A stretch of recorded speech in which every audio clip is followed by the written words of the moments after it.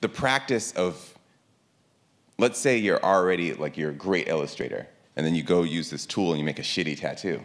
You know, it's like, oh God, like maybe I'm maybe I'm not cut out for this, right? But everybody sucks. Everybody's first tattoo is hella shaky and the line weight's rough or whatever, and you have to like just keep learning on the job. And the people who really love tattooing, like, you know, who are 20 years in and still find passion in it, is because they're always finding new mm. stuff, right? New techniques and what. That practice of like sucking and then having and and then learning on the job is something that you can then take to anything, right?